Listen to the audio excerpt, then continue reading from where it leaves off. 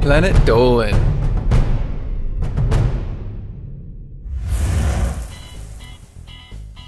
Why would you want to wear your heaviest clothes on a plane? How can you save a Google map to use when you're offline? From organizing the charge and his 10 great travel hacks to remember any time you're heading away from home. I'm Danger Dolan, and today I will be your narrator. Number 10. Hopefully, when you pick up a suitcase to go somewhere, your clothes are already clean.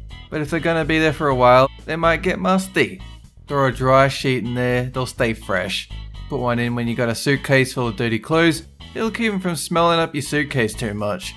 You don't have a dry sheet? Throw a bar of soap in with your dirty clothes, it'll have way better results. Number 9. Forget space saver bags and forget folding. Start rolling your clothes, you'll get way more of them in your suitcase. In fact, you may end up with so much additional space you run into completely different problems. Your suitcase has too much stuff now and it's just too heavy. If you're flying, make sure to check what your airline's maximum luggage weight is. Number 8. One of the first things you're going to need to get into your suitcase is a charger for something. But if you put it in a pocket of your suitcase somewhere, it's a good chance you'll lose it or it'll get damaged in the process. If you have a spare glasses case, you can wrap your cords and put them in there. That way they're protected from damage, they're much easier to find. Honestly, this is something you can use whether you're traveling or not. Number 7. If you're flying, you should know you can't bring liquids through a security checkpoint.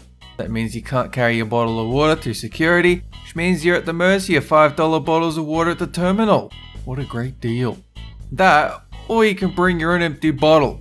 Whether it's disposable water bottle you save in, or your own plastic or metal water bottle, just empty it out beforehand. You can fill it up at the water fountain once you're through the security. Number 6. When you're in a new place, you're going to want to figure out how to get around, and also how to connect to an internet network. Unfortunately, these problems tend to compound themselves. If you can't connect to an internet network, it's going to be hard to pull up a Google map. But if you know where you're going to be, you can pull up the map in Google Maps beforehand and save it for offline use later. Just type in OK Maps and the name of your location, and you'll be prompted to save the map offline. That way you can look at the nearby points of interest and even get driving directions whether you have a signal or not. Number 5. If you're the type that wears a lot of jewelry, there's an easy way to keep most of it together. Grab a pill case at the dollar store, use each of the compartments for a different set of jewelry. It likely won't fit in some of your bigger pieces, but the tiny ones are the ones that get lost. This will keep those nice and tidy. Number 4. Whatever you're bringing on a flight has to go on your body or in your luggage. And it's going to be a lot more important for you to save space in your luggage. So if you're bringing a heavy coat, wear it. Heavy boots or shoes, put those on. It might be a little bit more of a pain going through security, but you'll save tons of space in your baggage. Besides, if you get hot wearing your winter coat in a terminal or on a plane, nobody says you have to keep it on. That way you're still comfortable, you've made room for another outfit or two. If you want to go all the way and avoid baggage fees altogether, go for the wearable luggage look. Number 3.